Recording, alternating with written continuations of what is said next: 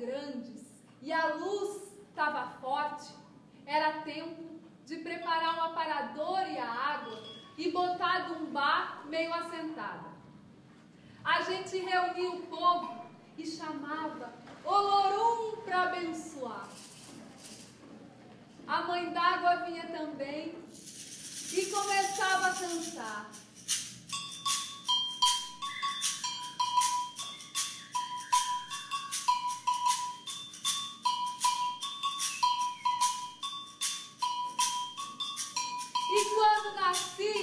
Era uma festa. Olorum tinha colocado mais um entre nós.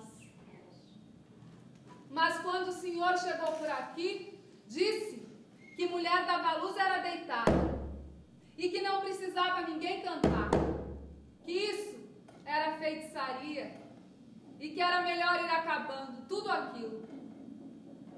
E a gente, a gente teve que aceitar.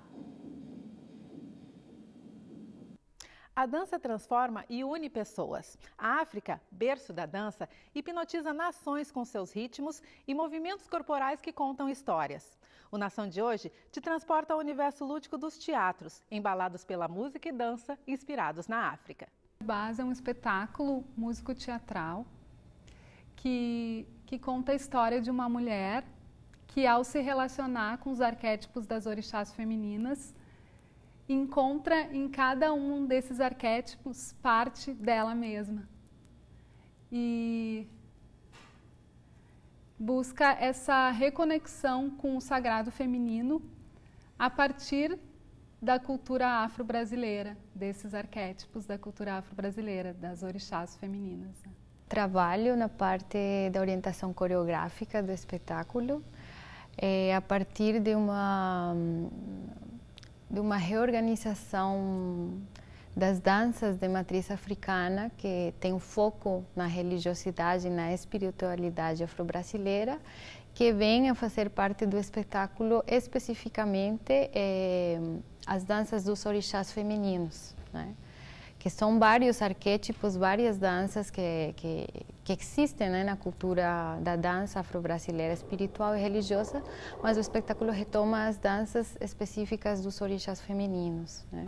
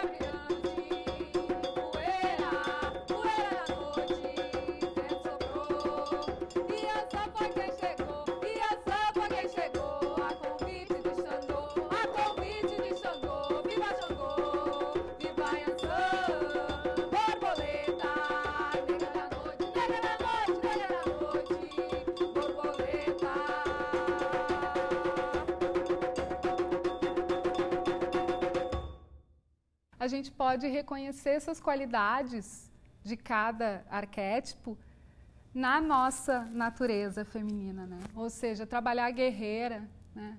A partir de dentro para fora, não a partir da imagem, da forma, da dança dela, mas primeiro o que que essa guerreira traz, o que que essa guerreira nos traz para cada uma de nós, né? E aí interpretar por exemplo, Yansan, né, que é a guerreira, Oxum, que trabalha, a, que é a beleza, né, é o, o mirar-se no espelho pode ser também a gente olhar para si mesma, esse cuidado, né, esse amor próprio.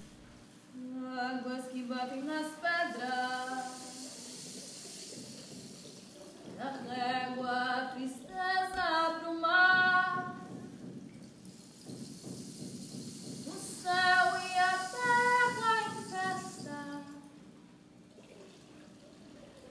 nos banham com as bênçãos de Oxalá. Barachucalhe a sua chave, mostrando um caminho a criar.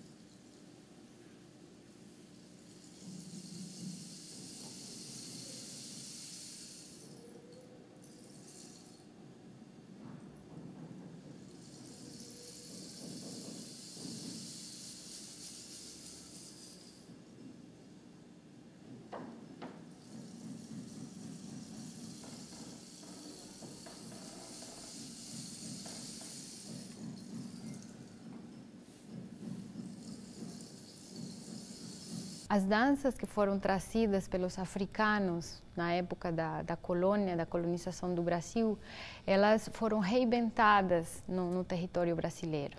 Muitas dessas danças que temos aqui, que se conservam nos terreiros, que se conservam nas, na ritualidade religiosa, eram danças da cotidianidade na África. Mas por questões do, do processo escravocrata, aqui foram reinventadas e foram conservadas ao interior dos terreiros. Então, elas têm uma força espiritual, arquetípica, ancestral muito forte. E essas danças das orixás femininas, elas retomam movimentos que a gente chama de arquetípicos, quer dizer, movimentos que são é, profundamente sentidos ao interior do ser feminino.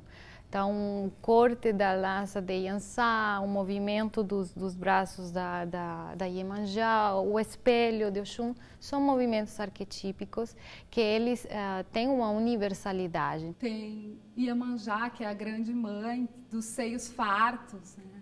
Então, todos esses arquétipos eles são presentes em várias culturas. Né?